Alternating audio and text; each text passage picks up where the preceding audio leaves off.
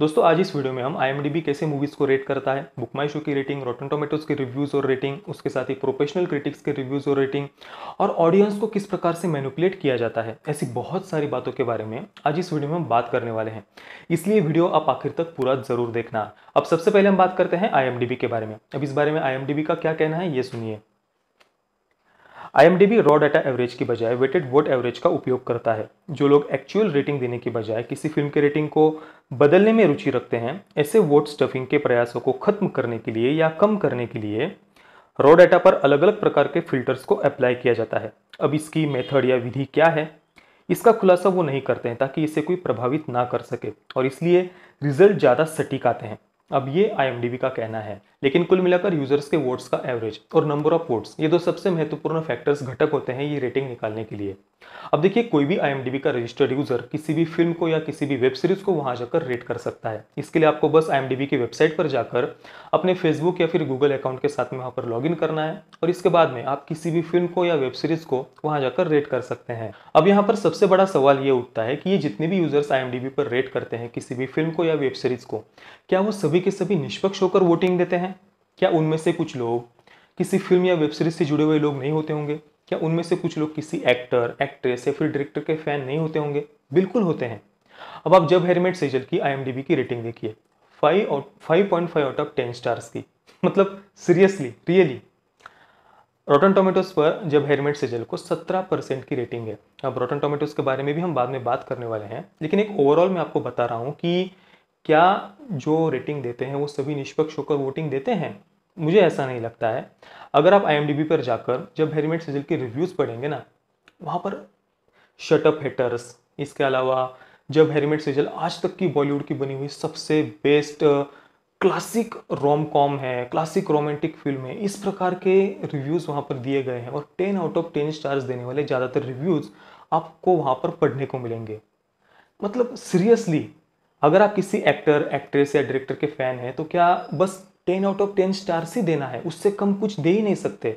इसीलिए जो real rating देते हैं ना two out of ten stars three out of ten stars उनकी रेटिंग वहाँ पर कोई मायने ही नहीं रखती, क्योंकि इस प्रकार के फैंस या किसी एक्टर एक्ट्रेस या एक्ट्रेस या फिर डायरेक्टर के, ये फैंस वहाँ पर जाकर सीधे ten out of ten stars दे देते हैं। और सबसे बड़ी बात, लगभग केवल चौदह हज़ार लोगों ने आईएमडीबी पर जब हेलमेट सेजल को रेट किया है। यानी 130 करोड़ की आबादी वाले देश में से केवल चौदह हज़ार लोगों ने वहाँ पर उस फ़िल्म को रेट किया है।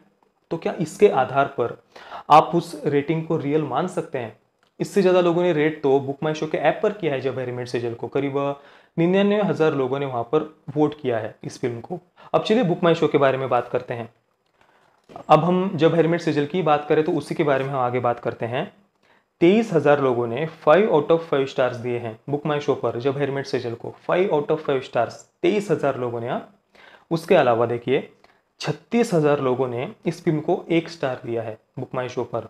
फिर भी फिफ्टी टू परसेंट की रेटिंग मिली है इसे बुक माई शो पर। अब इसके पीछे की वजह यह है कि वहाँ पर ये जो यूज़र्स की रेटिंग होती है, उसका एवरेज और उसके साथ ही जो क्रिटिक्स की रेटिंग होती है, उसका एवरेज और इन दोनों को कैलकुलेट करके फिर ये 52 परसेंट की रेटिंग वहाँ पर निकाली जाती है। लेकिन देखिए यहाँ पर रेटिंग देने वाले जो भी लोग हमें दिखते हैं वो बिल्कुल एक्सट्रीम होते हैं। जो फैंस होते हैं वो सीधे five out of five stars या फिर ten out of ten stars दे देते हैं क्योंकि वो उनके आ, स्टार की फ़िल्म है। वो जिसे फॉलो करते हैं जिसे मानते हैं उसकी फ़िल्म है। इसलिए इस इससे कम वो दे ही नहीं सकते। फाइव आउट ऑफ़ फाइव या फिर टेन आउट ऑफ़ टेन या फिर दूसरे होते हैं हिटर्स उन्हें कोई मतलब नहीं होता। फ़िल्म अच्छी हो कितनी भी अच्छी हो कुछ भी हो। 2.5 3.5 ये उन्हें दिखता ही नहीं, सीधे वन स्टार, क्योंकि वो हिट करते हैं किसी स्टार से, इसलिए वो सीधे जा कर के वन स्टार रेटिंग दे देते हैं। तो क्या ऐसी रेटिंग से आप किसी फ़िल्म को जज कर सकते हैं? क्या इससे आप तय कर सकते हैं कि मुझे ये फ़िल्म देखनी है या नहीं देखनी है? और ऐसे किसी भी वेबसाइट पर अगर आप जाएँगे तो वहाँ पर न्यूट्रल होकर वोट देने वालों की संख्या बहुत कम होती है। आप बुक माई शो पर किसी भी फ़िल्म की रेटिंग उठाकर देख लीजिए। जो न्यूट्रल होकर वोटिंग देते हैं ना 2.5, 3.5 या फिर two out of five stars ऐसे लोगों की संख्या बहुत ज़्यादा कम होती है। फाइव परसेंट तक नहीं होती। जो लोग five out of five stars देते हैं ना उनसे पाँच से दस परसेंट भी इन लोगों की संख्या नहीं होती। जो रियल में न्यूट्रल होकर एकदम निष्पक्ष होकर रेटिंग देते हैं। ऐसे लोग बहुत कम होते हैं। इसलिए उनकी वोटिंग कोई मायने ही नहीं रखती है वहाँ पर। और ये बात केवल फैंस और हिटर्स की नहीं है। फ़िल्म के प्रमोशन से और फ़िल्म से जुड़े हुए लोग भी इसमें होते हैं। कम से कम मुझे तो ऐसा लगता है, मैं किसी और के बारे में नहीं कह रहा हूँ। अब देखिए, किसी की फ़िल्म या फिर वेब सीरीज़ रिलीज़ हो रही है तो वो ये तो नहीं चाहेगा ना कि उसकी फ़िल्म को या वेब सीरीज़ को कहीं पर कम रेटिंग मिले। तो ऑब्वियसली ये लोग भी तो रेट करते ही होंगे किसी फ़िल्म को, कम से कम मुझे तो ऐसा लगता है। मैंने कई बार ऑब्ज़र्व किया है, अब देखिए गूगल ने भी एक रिव्यू का अलग से टैब दिया है। वहाँ पर भी आप गूगल के यूज़र्स की रेटिंग पढ़ रिव्यूज़ पढ़ सकते हैं। मैंने कई बार देखा है कि ऐसे अलग अलग प्लेटफॉर्म्स पर सेम रिव्यूज़ हमें पढ़ने को मिलते हैं। बस थोड़े से शब्द इधर उधर किए हुए होते हैं तो नहीं तो कई बार तो सेम टू सेम रिव्यूज़ हमें अलग अलग प्लेटफॉर्म पर पढ़ने को मिलते हैं। तो देखिए किस प्रकार से किसी फ़िल्म को अच्छा दिखाने के लिए ऑडियंस को मैनिपुलेट किया जाता है, ये भी एक फ़िल्म के प्रमोशन का हिस्सा होता ही होगा। अब ये हर किसी के सोचने की बात है। कम से कम मैंने जो ऑब्ज़र्व किया किया है उसके आधार पर मैं आपको बता रहा हूँ। अब हम बात करते हैं रोटन टोमेटोज के बारे में। विरिधि वेडिंग को आईएमडीबी पर 2.8 आउट ऑफ़ 10 स्टार्स की रेटिंग है। 2.8 हाँ। और विरिधि वेडिंग को ही रॉटन टोमेटोज पर 71 परसेंट की रेटिंग है। मतलब आपको विश्वास होगा 71 परसेंट विरिधि वेडिंग को। अब देखिए रॉटन टोमेटोज पर जो प्रोफेशनल क्रिटिक्स होते हैं उनके रिव्यूज़ रेटिंग्स के आधार पर इस फाइनल रेटिंग को कैलकुलेट किया जाता है, उसके आधार पर इसे शो किया जाता है। अब आज इस वीडियो में हम केवल भारतीय फिल्म्स के बारे में बात कर रहे हैं, इसलिए बाहर के क्रिटिक्स के बारे में हम यहाँ पर बात नहीं करेंगे। लेकिन जहाँ तक बात है भारतीय प्रोफेशनल क्रिटिक्स की तो वो कितने निष्पक्ष ये आपको बताने की ज़रूरत नहीं है। इस साल की सबसे बढ़िया फ़िल्म परमाणु द स्टोरी ऑफ़ पोखरन इस फ़िल्म को नेशनलिस्टिक जंगोइज्म ये नाम देकर हमारे यहाँ के प्रोफेशनल क्रिटिक्स ने 1.5 आउट ऑफ़ फाइव स्टार्स की रेटिंग दी। ज़्यादातर क्रिटिक्स की रेटिंग आप पढ़ सकते हैं। 1.5 या 2 आउट ऑफ़ 5 स्टार्स की रेटिंग हमारे यहाँ के प्रोफेशनल क्रिटिक्स ने परमाणु को दी। मतलब ये क्या होता है भाई? नेशनलिस्टिक जंगोइज्म अगर कोई फ़िल्म आपके आइडियोलॉजी को सूट नहीं करती है तो क्या आप उसे तुरंत निगेटिव रिव्यू दे देंगे? और अगर कोई फ़िल्म या वेब सीरीज़ इनके आइडियोलॉजी को सूट करती है तो इसे वो तुरंत मास्टरपीस कह देते हैं। मतलब मास्टरपीस इस शब्द की आजकल कोई कीमत ही नहीं रही है। इन्हें जो फ़िल्म इनके आइडियोलॉजी को सूट करती है ना तुरंत उसे ये साल की सबसे ग्रेट फ़िल्म मास्टरपीस वगैरह वगैरह ग्राउंड ब्रेकिंग और क्या कहते हैं वो आ, हिस्ट्री बदलने वाली इंडियन फ़िल्म हिस्ट्री को बदलने वाली फ़िल्म इस प्रकार के शब्द देकर ऑडियंस के सामने ये अपने आइडियोलॉजी को सूट करने वाली फिल्म्स को प्रमोट करते हैं। और ये मैं केवल परमाणु के बारे में नहीं कह रहा हूँ पिछले साल की सबसे बढ़िया फ़िल्म द गाजी अटैक देखिए इस फ़िल्म को किस प्रकार के रिव्यूज़ दिए गए हैं? द गाजी अटैक को द इंडियन एक्सप्रेस ने 1.5 point five out of five stars दिए। एनडीटीवी ने 2.5 आउट ऑफ़ फाइव स्टार्स दिए। इसके अलावा न्यूज़ 18 ने इसे all in all the Ghazi attack is utterly disappointing कहा है। Utterly disappointing the Ghazi attack को। मतलब यकीन नहीं होता द गाजी अटैक के लिए ऐसे शब्द। यानी ठीक है, आपको फ़िल्म पसंद नहीं आई तो एवरेज कह दीजिए अटरली डिसअपॉइंटिंग नेशनलिस्टिक जंगोइज्म ये सब क्या होता है? मतलब आपकी आइडियोलॉजी को कोई फ़िल्म सूट नहीं करती है। अब द गाजी अटैक में बताया गया था कि उस समय की सरकार के द्वारा किस प्रकार के हमारे सेना के हाथ बाँध कर रखे जाते थे, कैसी परेशानियों का उन्हें सामना करना पड़ता था। इस प्रकार की बहुत सारी बातों को और इतनी ग्रेट फ़िल्म थी वो कि हमें हमारी पलके तक झपकाने की इच्छा नहीं होती। इस प्रकार का थ्रिल हम द गाजी अटैक में फील करते हैं। वही बात परमाणु के बारे में भी हम कह सकते हैं। किस प्रकार का प्राउड हम फील करते हैं परमाणु देखते समय? लेकिन इन लोगों ने अपनी पर्सनल आइडियोलॉजी की वजह से, अपने पर्सनल विचारधारा की वजह से वो हर्ट हो गए। ये जो सो कॉल्ड इंटेलेक्चुअल्स या फिर लिबरल्स होते हैं ना, बहुत जल्दी हर्ट हो जाते हैं। छोटी छोटी बातों से हर्ट हो जाते हैं। और इतना हर्ट होकर के वो तुरंत अपनी पर्सनल विचारधारा को अगर कोई फ़िल्म सूट नहीं करती है तो तुरंत उसे अटरली डिसअपॉइंटिंग नेशनलिस्टिक जंगोइज्म, ऐसे शब्द देकर निगेटिव रिव्यूज़ दे देते हैं। और इस प्रकार से ऑडियंस के ये ऑडियंस को ये मैनिपुलेट करते हैं और जो फ़िल्में इनकी आइडियोलॉजी को सूट कर दिए, केवल उनको ही ये प्रमोट करते हैं। अब इन सबको कितना निष्पक्ष मानना है, ये मैं आप पर छोड़ता हूँ। पर्सनली मुझे ऐसा लगता है कि किसी भी फ़िल्म या वेब सीरीज़ को रिव्यू करते समय हमें हमारी पर्सनल आइडियोलॉजी को पर्सनल विचारधारा को साइड में रखकर उसे रिव्यू करना चाहिए। मैं खुद भी कोई फ़िल्म क्रिटिक नहीं हूँ, बस एज अ मूवी लवर मैं अपने व्यूज़ या फिर रिव्यूज़ को आप सब दोस्तों के साथ में शेयर करता हूँ। लेकिन एक प्रोफेशनल फ़िल्म क्रिटिक नहीं होते हुए भी मैं बहुत सावधानी रखता हूँ कि किसी भी फ़िल्म के साथ अन्याय ना हो। जितना हो सके ईमानदारी से मैं उस फ़िल्म का रिव्यू या फिर उस फ़िल्म के बारे में मेरे जो व्यूज़ है, आपके साथ में मैं शेयर करूँ। और जितना हो सके मैं अपने आप को निष्पक्ष रखने की कोशिश करता हूँ। अब जैसे सेक्रेट गेम्स का उदाहरण लीजिए। अब यहाँ पर स्पॉयलर्स आने वाले हैं, मैं आपको पहले ही बता देता हूँ। अब ये वेब सीरीज़ मेरे ख्याल से बहुत ही वीक क्राइम थ्रिलर है। मुंबई का सबसे बड़ा डॉन, गणेश गायतोंडे। अब ये कैरेक्टर किससे प्रेरित है, ये मैं नहीं जानता हूँ, लेकिन फिर भी चलो हम मान लेते हैं। मुंबई का सबसे बड़ा डॉन, गणेश गायतोंडे। पंद्रह साल के बाद मुंबई में वापस आता है। उसके वापस आने से गृह मंत्री फ़िल्म इंडस्ट्री पुलिस डिपार्टमेंट सबके सब हिल जाते हैं। इतना बड़ा डॉन मुंबई में वापस आता है और एक पुलिस ऑफिसर को फ़ोन करके वो बताता है कि 25 दिन में मुंबई ख़त्म होने वाली है। सीधे ख़त्म होने वाली है। कहीं पर छोटे से टेरर अटैक की वो बात नहीं कर रहा, कहीं पर बॉम्ब ब्लास्ट की वो बात नहीं कर रहा, मुंबई ख़त्म हो जाएगी, इस प्रकार की वो धमकी देता है। रॉ ऑफिसर्स, दो रॉ ऑफिसर्स भी ये फ़ोन टैप करके सुन लेते हैं ये बात। यानी पुलिस डिपार्टमेंट को पता चल गया, रॉ ऑफिसर्स को पता चल गया और सीधे मुंबई के सबसे बड़े डॉन से ये धमकी आती है, सीधे फ़ोन कॉल के द्वारा। फिर भी किसी के पेट का पानी ही नहीं हिलता है।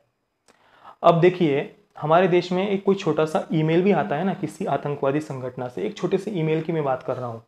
उसी दिन तुरंत सारे के सारे न्यूज़ चैनल्स पर वो न्यूज़ आ जाती है कि एक ईमेल आया है गृह मंत्री को या हमारे जो एजेंसी से, सिक्योरिटी फोर्सेस उनके पास एक ईमेल आया है, टेरर अटैक का, और कभी भी एक आतंकवादी एक हमला हो सकता है। इस प्रकार की हमने कई बार खबरें सुनी हैं। लेकिन अब इस वेब सीरीज़ में देखिए, इतनी बड़ी बात, कोई छोटे से ईमेल की बात नहीं है। एक बहुत बड़ा डॉन ये धमकी देता है, खुद धमकी देता है फ़ोन करके। फिर भी ना ही मीडिया का इसमें कहीं पर भी इन्वॉल्वमेंट दिखाया, ना ये बात मीडिया को पता चलती है। और दूसरी बात, केंद्र सरकार का इसमें कोई रोल नहीं है। I B N S A T S कहाँ है सब? इतनी सारी सिक्योरिटी फोर्सेस हैं हमारे देश में, कहीं पर भी कोई एक्टिव नहीं दिखाया गया। इसके अलावा जो रॉ को जिस प्रकार से इसमें दिखाया ना, वो सबसे बड़ा मज़ाक है। किसी गली नुक्कड़ के डिटेक्टिव की तरह रॉ को इसमें काम करते हुए दिखाया है। मतलब देखिए, अब कुछ लोग इसे बाहर की कुछ वेब सीरीज़ के साथ में कंपेयर कर रहे हैं सेक्रेट गेम्स को। अगर वहाँ पर आप किसी भी हॉलीवुड फिल्म्स को लीजिए या फिर उनकी वेब सीरीज़ को लीजिए, वो देखिए सीआईए को या उनकी जो भी सिक्योरिटी फोर्सेस होती है, कुछ फ़िल्म में कुछ काल्पनिक सिक्योरिटी फोर्सेस भी दिखाई गई है। उनको वो किस प्रकार से उनकी फिल्म्स में दिखाते हैं, कितना स्ट्रांग दिखाते हैं, क्योंकि वो अपने देश से प्यार करते हैं यार। वो अपने देश की सिक्योरिटी एजेंसीज को इस प्रकार से कमज़ोर नहीं दिखाते हैं। लेकिन हमारे देश की सबसे बड़ी मतलब क्या कहूँ मैं अब? छोड़िए, मैं नहीं बोलना चाहता। कुछ लोगों को अपने ही सिक्योरिटी एजेंसीज को इस प्रकार से वीक दिखने, दिखाने में या देखने में पता नहीं कैसे लोग एक्सेप्ट कैसे ये देख सकते हैं। मुझे बिल्कुल भी ठीक नहीं लगा। क्या इस प्रकार से रॉ काम करती है? मतलब मज़ाक नहीं है यार। 190 देशों में नेटफ्लिक्स पर इस सीरीज़ को रिलीज़ किया गया है। और वो लोग हमारे देश, उनके सामने हमारे देश की क्या तस्वीर जाएगी? वो रॉ को क्या, कैसे देखेंगे रॉ को? एक महिला ऑफिसर अपने अपने तरीके से इंक्वायरी कर रही है इतनी बड़ी धमकी आने के बावजूद, किसी दूसरे, किसी सिक्योरिटी एजेंसीज का, केंद्र सरकार का, या किसी का भी इसमें इन्वॉल्वमेंट नहीं है। इतनी बड़ी धमकी आने के बावजूद भी किसी को कुछ पड़ी ही नहीं है। हालाँकि हमारे देश में एक ईमेल भी आता है ना तो तुरंत उसी दिन शाम को हर चौराहे पर, हर नाके पर नाकाबंदी हो जाती है। पुलिस तुरंत हर गाड़ी को तलाश करने लगती है। कोई भी अगर आतंकवादी घटना की, कोई हमें ईमेल आता है या कोई धमकी आती है तो तुरंत सब एक्टिव हो जाते हैं। कहीं पर दिखी ये बातें आपको सीक्रेट गेम्स में? पता नहीं मतलब कैसे लोग इस फ़िल्म को मास्टरपीस और पता नहीं क्या क्या कह रहे हैं। अगर सीक्रेट गेम्स मास्टरपीस है तो फिर गैंग्स ऑफ़ वासेपुर को आप क्या कहेंगे? यार, कुछ तो आप क्या कहेंगे गैंग्स ऑफ़ वासेपुर को? मेरे लिए गैंग्स ऑफ़ वासेपुर आज तक की सबसे बढ़िया क्राइम थ्रिलर फ़िल्म है भारत में बनी हुई की और मेरी पसंदीदा नहीं, मैं उसे मास्टरपीस कहूँगा गैंग्स ऑफ़ वासेपुर को। और सीक्रेट गेम्स हम किस लिए अच्छा कहें? क्या उसमें बस कुछ गालियाँ दी गई है इसलिए? भगवान शब्द के साथ एल यू एन डी ये शब्द जोड़ा गया है, इसलिए हम कहें कि वाह वाह वाह वाह, क्या क्रिएटिविटी है, क्या आर्ट है। भगवान शब्द के साथ इन्होंने एल यू एन डी शब्द जोड़ दिया। इसके लिए हम इसको अच्छा कहें। क्या उसमें कुछ दो तीन टॉपलेस सीन्स है, कुछ सेक्स सीन्स है? इसलिए हम उसे अच्छा कहें। मुझे उनसे कोई प्रॉब्लम नहीं है। गाली से या न्यूड सीन से। मैंने उल्टा सेंसर बोर्ड के ऊपर एक वीडियो डाला है कि आप दिखाइए। ये सर्टिफिकेट आप दे रहे हैं ना तो थिएटर में ये बातें दिखाइए। मैंने खुद उसके ऊपर वीडियो बनाया है। लेकिन उन न्यूड सीन्स का, उस, उन गालियों का कुछ स्टोरी में जगह तो होनी चाहिए ना। उनकी वजह से मेन प्लॉट के ऊपर कुछ असर हो रहा है। क्या उस स्टोरी के डेवलपमेंट में कुछ उसकी मदद मिल रही है? कैरेक्टर्स के डेवलपमेंट में उसकी कुछ मदद मिल रही है? नहीं। बस ज़्यादातर फ़िल्मों में कंट्रोवर्सी क्रिएट करने के लिए ऑडियंस को अट्रैक्ट करने के लिए ये सब गालियाँ और सीन्स डाले जाते हैं। मेन मूल कैरेक्टर डेवलपमेंट पर इन बातों पर ध्यान ही नहीं दिया जाता। अगर आपको मास्टरपीस देखना है ना क्राइम थ्रिलर में पल्प फिक्शन देखिए। चार स्टोरीज आपस में एक साथ चल रही है, चार कैरेक्टर्स है, वो सभी कैरेक्टर्स उनके इन अलग अलग स्टोरीज के द्वारा एक सिंगल मैसेज डायरेक्टर हमारे सामने रखते हैं एंडिंग में कि लाइफ हमें दो चांस देती है। सेकंड चांस ज़रूर देती है। और उस सेकंड चांस के समय अगर आप सही राह चुनते हैं तो फिर आगे क्या होता है? ये एक बहुत ग्रेट मैसेज इन चार अलग अलग कैरेक्टर्स और कहानियों के द्वारा उसमें दिया गया है। ये उसमें भी ढेर सारी गालियाँ है वायलेंस है, लेकिन उसे कहते हैं स्टोरी कि वहाँ पर हमें वो स्टोरी सोचने को मजबूर करे। लेकिन सीक्रेट गेम्स में धर्म के नाम पर चलने वाले खेल के ऊपर उन्होंने कटाक्ष किया है, ठीक है, बहुत अच्छी बात है, लेकिन वो हमें सीरीज़ देखते समय, बहुत समय वो कटाक्ष हमें एक तरफा लगता है। तो क्या इन बातों के लिए हम केवल इसको मास्टरपीस कहें? मुझे तो ऐसा नहीं लगता, लेकिन फिर भी देखिए, इतने सारी कमियाँ होते हुए भी, मैंने सीक्रेट गेम्स को four out of ten stars दिए, इतने वीक क्राइम थ्रिलर होते हुए भी क्योंकि मैं नहीं चाहता हूँ कि नवाजुद्दीन सिद्दीकी ने बहुत बढ़िया उसमें एक्टिंग की है, सैफ अली खान ने भी बहुत बढ़िया उन्होंने वहाँ पर परफॉर्मेंस दिया है। और स्टोरी की जो प्लेसिंग है, जिस प्रकार से फ्लैशबैक और अभी के सीन्स को वहाँ पर प्लेस किया गया स्टोरी में, दिमाग लगाए बगैर भी अगर हम इस सीरीज़ को देखते हैं तो आखिर तक हमारा इंटरेस्ट बना रहता है। भले ही बीच में बहुत स्लो है, कई सारे सीन्स की कोई ज़रूरत नहीं, बिना मतलब का खींची हुई थी, फिर भी एंडिंग तक हमारा इंटरेस्ट बना रहता है। और ये जो थोड़े बहुत प्लस पॉइंट है, इसके लिए मैंने उसे four out of ten stars दिए, क्योंकि मैं नहीं चाहता था कि हमारे पर्सनल व्यूज़ की वजह से किसी वेब सीरीज़ या फ़िल्म के साथ अन्याय हो। और यही बात आप राज़ी के समय भी देख सकते हैं। आप राज़ी का मेरा वीडियो देखिए। मैंने जो पॉइंट्स उसमें बताए हैं ना, जितने भी पॉइंट्स मैंने बहुत सारे पॉइंट्स राज़ी के रिव्यू वाले वीडियो में मैंने बताए हैं, उसमें से एक भी पॉइंट आप ये जो प्रोफेशनल क्रिटिक्स है, उनमें से किसी ने भी, उसमें से एक भी पॉइंट उनके रिव्यू में बताया है क्या? ये आप चेक करिए। मतलब मैंने इतने सारे पॉइंट्स राजे के रिव्यू वाले वीडियो में बताए, लेकिन किसी ने भी, किसी भी क्रिटिक्स के रिव्यू में आप एक भी उस पॉइंट का ज़िक्र किया हुआ नहीं देखेंगे। बस पाकिस्तान को लाला लैंड की तरह दिखाया है। सब कुछ वहाँ पर बहुत अच्छा है। पाकिस्तान को एक विक्टिम की तरह दिखाया गया है। और जो सहमत खान जी का जो कैरेक्टर है, मुझे ऐसा लगता है कि उन्होंने जो कुर्बानी दी देश के लिए, उनकी जो देशभक्ति है उसे ठीक तरीके से जस्टिफाई उसे न्याय नहीं दे पाई है ये फ़िल्म ऐसा पर्सनली मुझे लगता है और अच्छी तरीके से इस फ़िल्म को बनाया जा सकता था। क्योंकि जिस प्रकार से वो पाकिस्तान में जाने के लिए अलग अलग रूम्स में वहाँ जाती है, जो उनके सीक्रेट रूम्स में जाती है, हर रोज़ बड़ी गाड़ी लेकर के ड्राइवर के साथ वो बाहर जाती है। पाकिस्तान के हर गली नुक्कड़ पर उसे मदद करने वाला वहाँ पर मिलता है। ये सारी बातें हमें विश्वास नहीं होता है। उस घर में जाने के बाद वो तुरंत भारत में मैसेज देने के लिए वहाँ पर सेटअप भी करती है। ठीक है, हमें पता है ये एक बुक के ऊपर आधारित है, लेकिन ज़रूरी नहीं ना कि बुक में जो बातें दिखाई गई है, वो वैसे की वैसे ही फ़िल्म में दिखाई गई हो। पूरी तरीके से उस बुक को न्याय दिया गया हो। आर्टिस्टिक लाइसेंस क्रिएटिव लिबर्टी के नाम पर बहुत सारे चेंजेस किए जाते हैं, ये सबको पता है। और सहमद खान जी ने जो कुर्बानी दी है, उसे और अच्छी तरीके से दिखाना चाहिए था। केवल पाकिस्तान को लाला लैंड की तरह दिखाया है रॉ को बहुत निर्दयी और निष्ठुर दिखाया है। इसीलिए बहुत सारे क्रिटिक्स ने बस इसकी अच्छी अच्छी बातें सबके सामने बताई है। आप मेरा रिव्यू देखिए, रॉ का सॉरी राज़ी का। उसमें मैंने जो पॉइंट्स बताए हैं, वो पॉइंट्स किसी भी क्रिटिक ने नहीं बताए होंगे। तो दोस्तों, क्या ये मात्र संयोग है कि जो लोग परमाणु और द गाजिया टेक को नेशनलिस्टिक जंगोइज्म और अटरली डिसअपॉइंटिंग कहकर 1.5 स्टार्स देते हैं, वही लोग कई सारी कमियाँ होते हुए भी, कई सारे माइनस पॉइंट्स होते हुए भी, उन्हें जो फ़िल्म अच्छी लगती है, उनकी विचारधारा को जो फ़िल्म पसंद आती है, उससे वो मास्टरपीस कह देते हैं। क्या ये केवल मात्र संयोग है? दोस्तों, यहाँ पर सबसे बड़ा सवाल फिर से यही आता है कि अब आप किस पर विश्वास करेंगे? तो मैं पर्सनली आपको यही कहूँगा कि आपको क्या लगता है? ये सबसे ज़्यादा मायने रखता है। आपको फ़िल्म कैसी लगी? ये सबसे ज़्यादा महत्वपूर्ण है। और आपको अगर रिव्यू देखना ही है तो जिस व्यक्ति के साथ आपकी टेस्ट मिलती हो, जिस व्यक्ति के साथ आपके विचार मिलते हो, उस पर आप यकीन करिए, चाहे वो कोई भी हो। और नहीं तो हमारे यहाँ पर कई सारे क्रिटिक्स ने जुड़वा टू को भी थ्री और थ्री पॉइंट फाइव स्टार्स दिए थे। और ईमानदारी से रिव्यू देना सबसे ज़्यादा ज़रूरी क्यों है पता है? क्योंकि हमारे देश में ऐसे लोग बहुत कम हैं, जो बस मूवी लवर्स हैं और जिन्हें हर प्रकार की फिल्म्स देखना पसंद है।